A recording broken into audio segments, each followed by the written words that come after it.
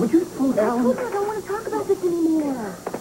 Eden, if Cruz makes you this miserable, he is not worth it. Well, now, don't talk about him that way. No, I'm, you're this unhappy. This is Christmas. A lot of people are depressed this time of the year. Including you. No, look, Cruz and I have our problems, but I know he loves me.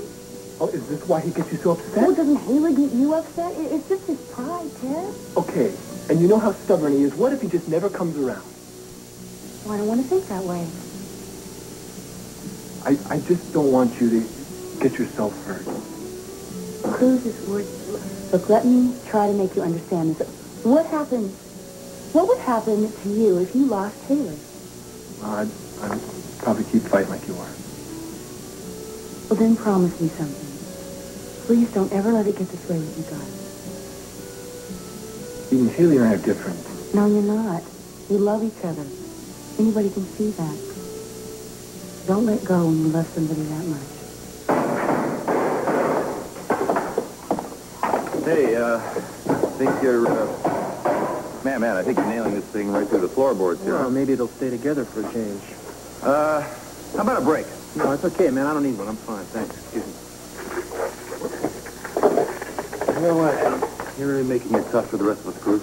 If this is the start of a lecture, Brick, save it. You know, I used to pull the same kind of act when I used to fight with Amy. I could hold my anger for days. Yeah? Listen, you seen a tape measure around here? Yeah. I get sick when I think about all the time we wasted punishing each other after we fought. Now I can't even tell her how sorry I am. Yeah, well, I know you're hurting, but what happened between you and me is different. How? How? Huh. You and Amy were married. You had a son. You made a commitment, man. I mean, you, you didn't run out on each other every time things got a little tough. Look, man, how do you know what it was like between Amy and I, huh?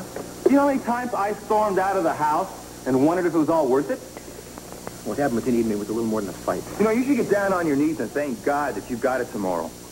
Now, you want to feel sorry for yourself, fine. Just don't do it around me. I didn't ask for a lecture on my personal... Well, that's too bad. You hurt, we all do, all right? Join the club. You want a simple way out? Just don't give a damn. Man, I would give anything if I didn't give a damn, believe me. But you know, man, you know, you know what the problem is up here, huh? What, what's my problem?